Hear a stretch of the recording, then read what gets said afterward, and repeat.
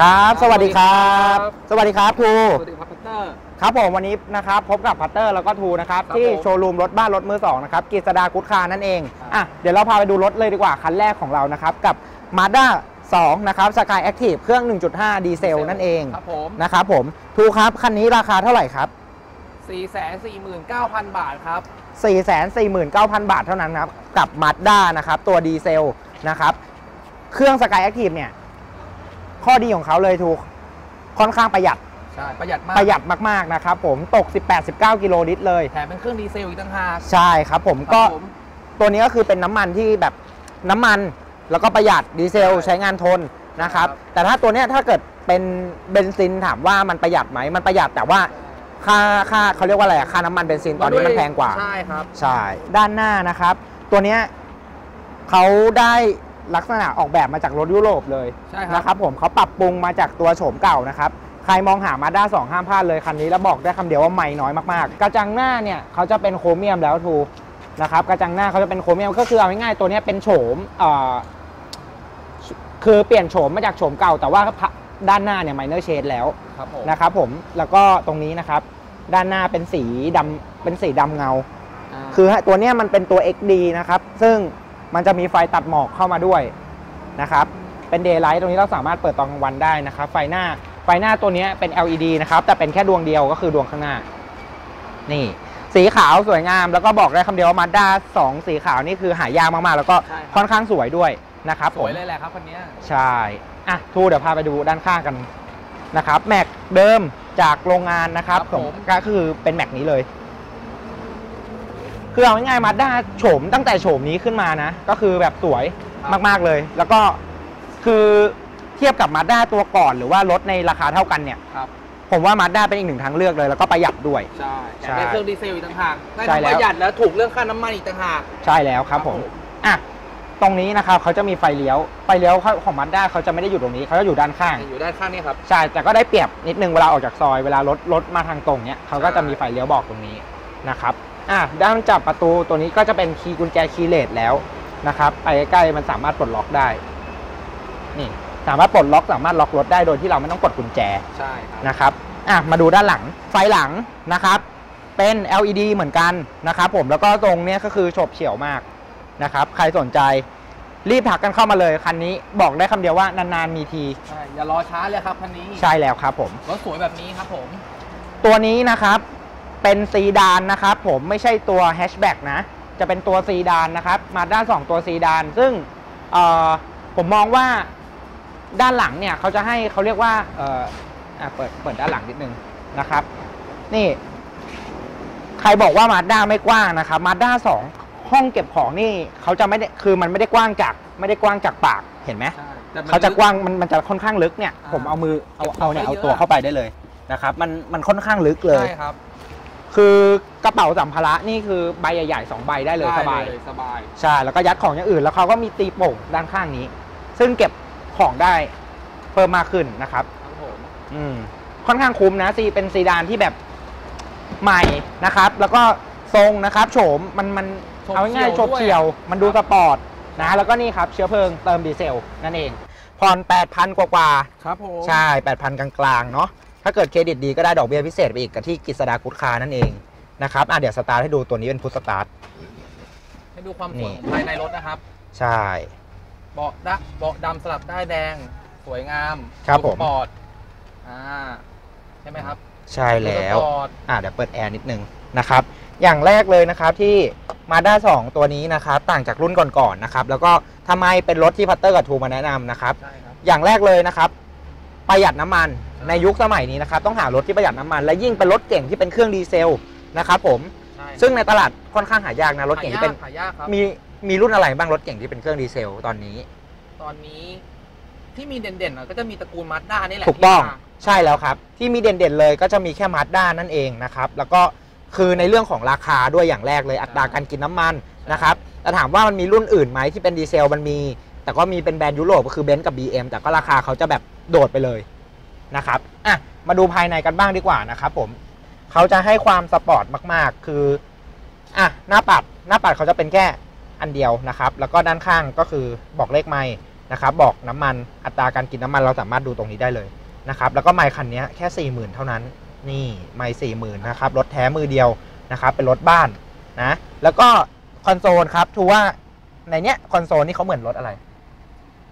มันเหมือนรถสปอร์ตเลยนะซุปเปอร์คาร์ถูกต้องครับผมใช่ครับเพราะเขาได้แรงบันดาลใจมาจากรถสปอร์ตแล้วก็ซูเปอร์คาร์นั่นเองนะครับเพราะว่าเขาใช้แบบเอ่อเป็นหนังดำใช่ไหมอย่างที่ทูบอกแล้วก็คือตัดด้วยด้ายแดงนะครับผมครับผมนี่ก็คือคือเขาไม่ได้ใส่อะไรมาให้มันเยอะแยะมากมายเนาะดูมันดูเป็นสปอร์ตมาก ใช่คือเรามีแค่เนี่ยคอนโซลเขาก็จะมีสำหรับใครที่ยังไม่เคยเห็นมาด้าสามนะเอ้ยมาด้าสองหรือมาด้าสามนะ หน้าจอเขาเนี่ยแทบไม่มีเลย ก็มีแค่แอร์อุณหภูมิ แล้วก็ปรับแรงลมเท่านั้นเอง นะครับ ครับผม ส่วนเมนูเนี่ยเขาจะมาใช้ใช้เลื่อนตรงนี้เอาอ่าคล้ายๆรถยุโรปเลยใช่ เขาจะมาเลื่อนตรงนี้เอา จอแสดงผลก็จะอยู่ที่หน้าจอนั่นเองนะครับ อันนี้หน้าจอน่าจะมา 7 นิ้ว เราสามารถเลื่อนตรงนี้ได้นะครับ ก็คือเอาง่ายๆเหมือนเหมือนกับพวกเบนซ์ BM ใช่เนาะ แล้วก็สามารถแบบเปิดเอ่อแอปพลิเคชันนะครับ ฟังเพลง Navigator คือตรงเนี้ยเป็นภาษาไทยนะครับ ลูกค้าไม่ต้องห่วงซื้อรถไป จะได้ภาษาญี่ปุ่นภาษาอังกฤษฉันอ่านไม่รู้เรื่องนี่ครับภาษาไทยนะใช้งานง่าย ใช่แล้วใช้งานง่ายนะครับผมแล้วก็สปอร์ตมากๆทูนั่งข้างหลังรู้สึกยังไงบ้าง กว้างนะครับสบายไหมสบายสบายเลยข้างหลังก็เป็นเบาะดำด้ายแดงกันนะครับให้ความใช่สปอร์ตทั้งคันอือฮึอ่านี่ครับแต่ตัวเนี้ยเขาจะเป็นถ้ามาด้า2ตัวเนี้ย XD เนี่ยเขาจะเป็นเบาะเป็นเอ่อปรับมือนะครับ แต่ว่าความแบบเอาให้ดูแบบเด่นๆนะจุดเด่นของ Mazda 2เนี่ย อยู่ตรงการคนที่ขับขี่ข้างในนะครับเขาจะรู้สึกว่าตัวเองเนี่ยได้เหมือนได้ขับรถสปอร์ตเลยใช่นะครับผมแล้วก็ที่บอกว่าเครื่องส1.5 เนี่ยดีเซลเนี่ยมันอืดไหม เพราะว่าถ้าเกิดเป็นเอ่อหนึ่งเครื่องส่วนใหญ่เครื่องของ Mazda เขาบอกว่าจะอืด จะแรงแค่ต้น อย่างเงี้ยอืด คือตัวเนี้ยเทคโนโลยี Skyactiv เนี่ยเขาให้อัตราการกินน้ำมันที่น้อยนะครับผมใช่ซึ่งตก 17-18 กิโลลิตรเลย ขึ้นอยู่กับการขับขี่ของผู้ขับขี่นั่นเองนะครับ แล้วก็ดีเซลก็คืออย่างที่รู้กันอยู่แล้วน้ำมัน ประหยัดกว่าอ่า เบนซิน ได้ทั้งเครื่องประหยัดน้ำมัน ถูกต้อง ถูกลงมาอีก ใช่ จุดเด่นก็อยู่ประมาณนี้ใช่ครับผม แล้วก็ภายในก็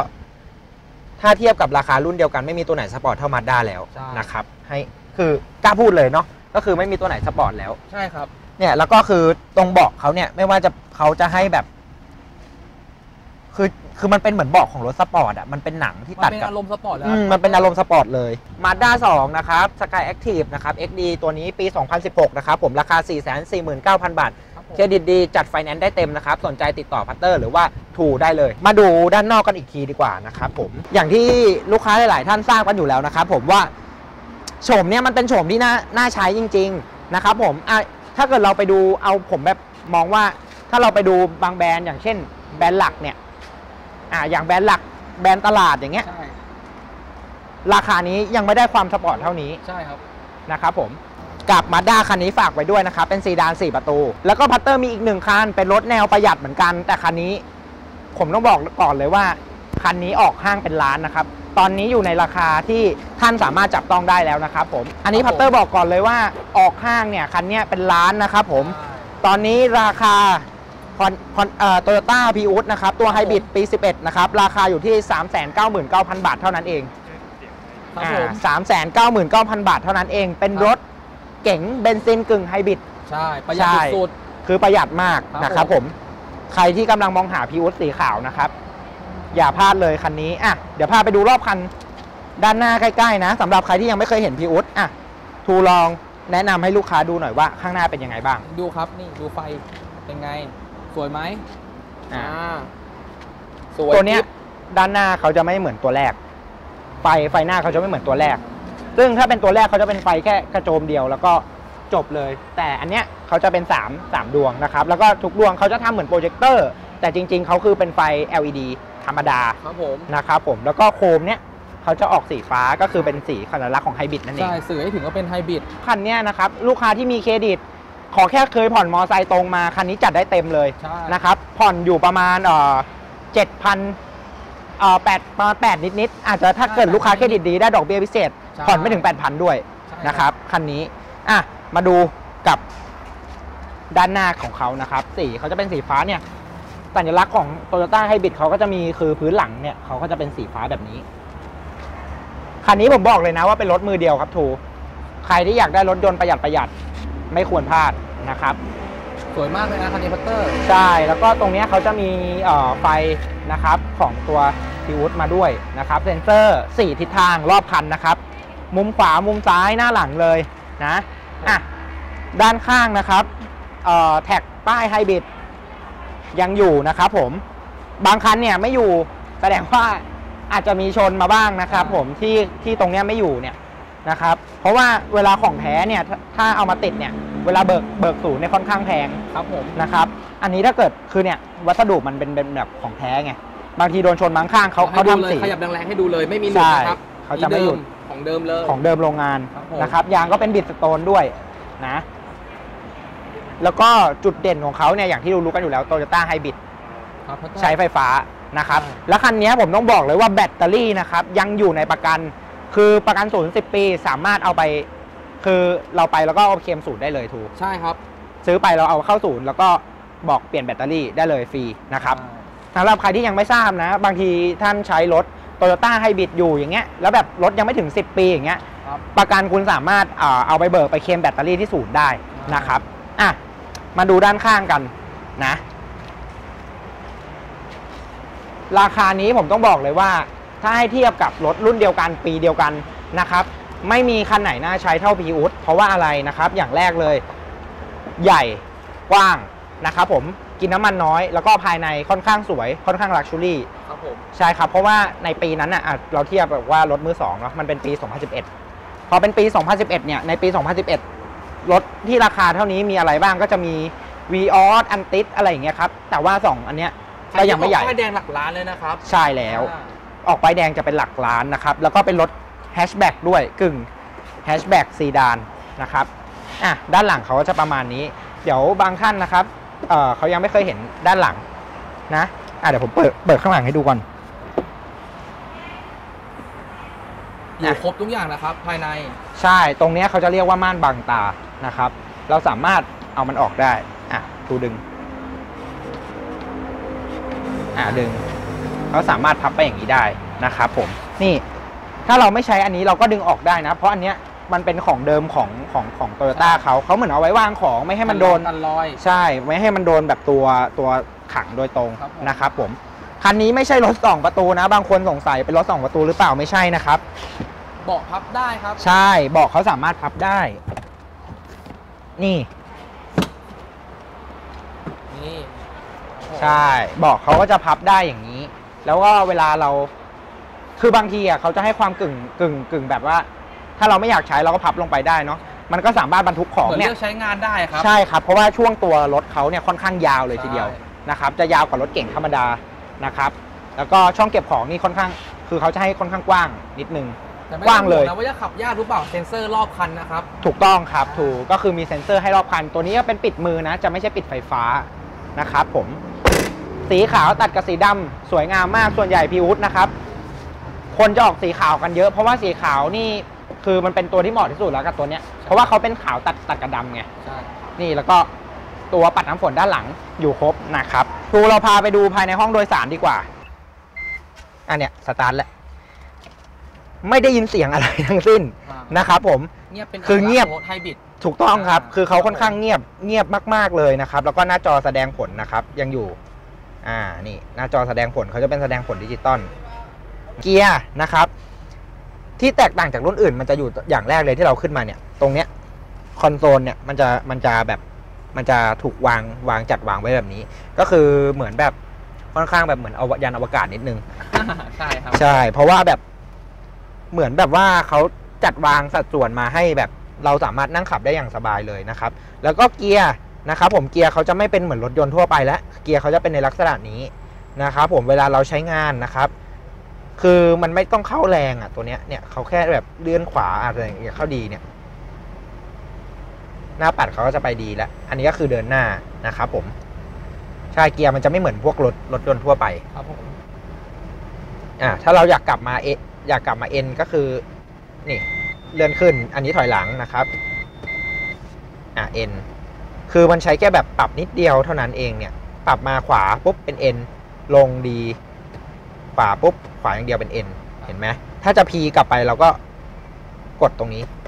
ก็เป็น P เลยรับก็คือเอาง่ายๆเป็นปุ่มจอดนั่นเองนะครับผมคอนโซลต่างๆนะครับ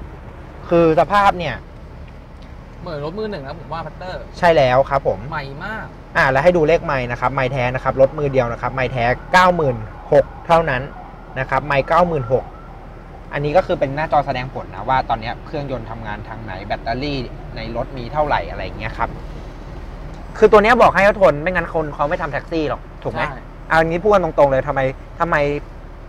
โตโยต้าที่เอามาทำเป็นไฮบริดไฮบริดเนี่ยครับมีรุ่นเดียวที่เอาไปทำเป็นแท็กซี่ ไม่ใช่อย่างแรกเลยไม่ใช่เพราะมันกว้าง แต่มันเป็นรุ่นที่